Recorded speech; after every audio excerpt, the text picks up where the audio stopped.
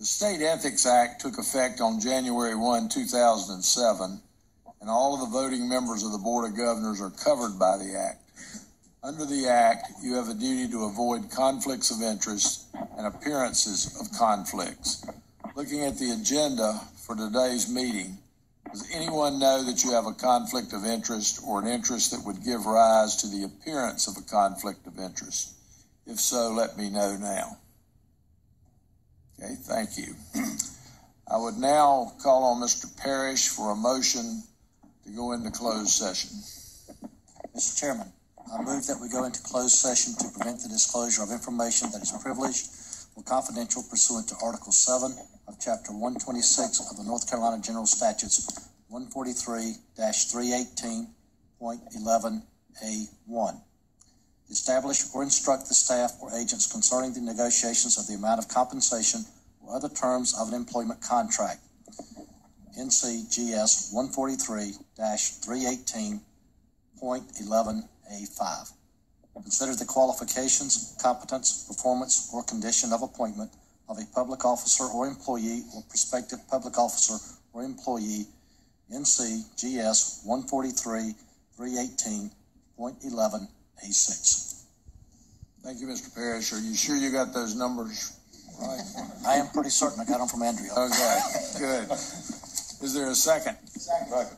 A second. All in favor indicate by saying aye. Aye. Opposed? Aye. Thank you. Opposed? Motion carries. We'll now go into a closed session.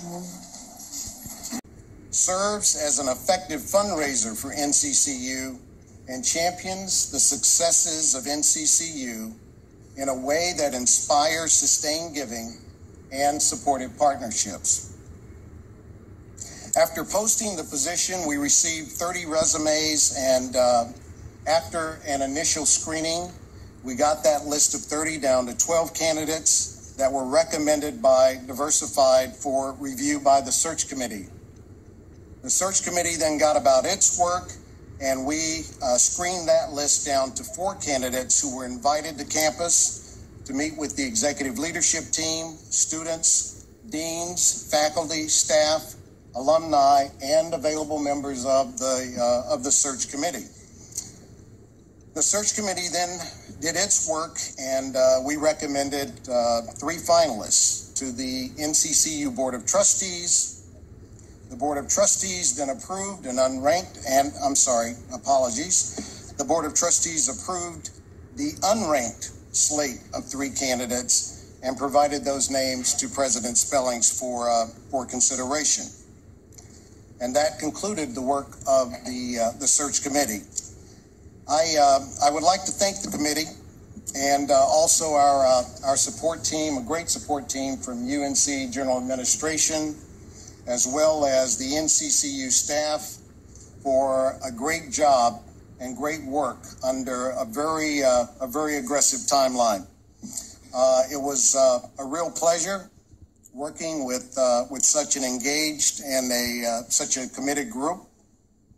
And I, I really was a joy. I'd also like to thank the NCCU community, the students, the faculty, staff, alumni, and local partners for their active and positive involvement in this search process. President Spellings, that, uh, that concludes my report.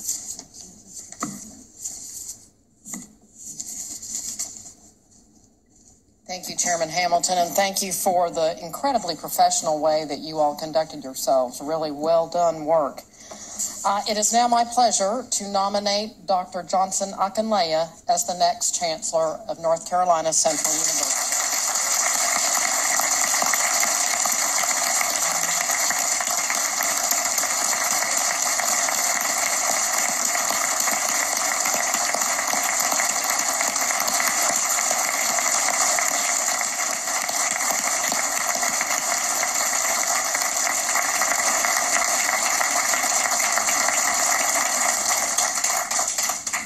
Tell you all about him. Dr. Johnson Akinleye is a no nonsense leader and a strategic thinker. He has a vision for NCCU. He sees building a relationship with the campus and community as a priority. His career in higher education spans 31 years, holding leadership positions at several public and private higher education institutions. He has a keen sense of how the UNC system works. 10 years of his higher education experience have been at UNC Wilmington and NCCU. Dr. Akinleye holds an undergraduate degree in telecommunications, mass communications from Alabama Agricultural and Mechanical University, a master's degree in media technology also from Alabama A&M University, and a doctorate in human communication studies from Howard University. Dr. Johnson Akinleye has received leadership training from the Millennium Leadership Initiatives sponsored by the American Association of State Colleges and Universities and the Harvard Graduate School of Education and Rust College. He was appointed acting chancellor at NC Central in August of 2016 and then interim chancellor upon the untimely death of our beloved Dr. Chancellor Chancellor Deborah Saunders White in November of 2016. Johnson, I have had the and I have had the pleasure of working together over these last months. It is terrific to uh, name him as the next terrific leader of this institution. Congratulations, Johnson. Uh, the floor is yours.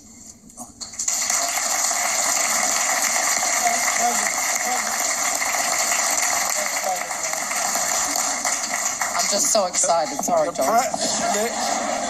Pre- the, the president is so excited she got ahead of herself. Sorry about that. Uh, there's one one little, uh, we, we gotta do, do, uh, little. I, I will now entertain a motion to approve the president's recommendation of Dr. Akinleye as the next chancellor of North Carolina Central University. So moved. Well, Mr. Chairman, this is Joan McNeil, and it is my distinct honor and pleasure to move the approval of President Spelling's recommendation to appoint Johnson Akinleye as Chancellor of North Carolina Central University. Thank you, Joan. Uh, Joan, as you know, was the liaison to the search committee, so she particularly wanted to uh, to make the uh, motion nominating Dr. Akinleye. I will now entertain a motion to second. Second. I'll entertain a second. Any discussion? Yes, Mr. Webb. As part of the board screening committee, we did not have the benefit of the leadership profile. But as we interviewed Dr. Akinleye, it was as though he was writing it. And there was no daylight between what Chairman Hamilton just told us and what we found to be the qualities possessed by our new chancellor. Thank you, Mr. Webb. Any other discussion? If not, all in favor of the motion indicate by saying aye. Aye. Opposed? Aye. Okay. Opposed? Dr. Akinleye, I think the motion was approved unanimously.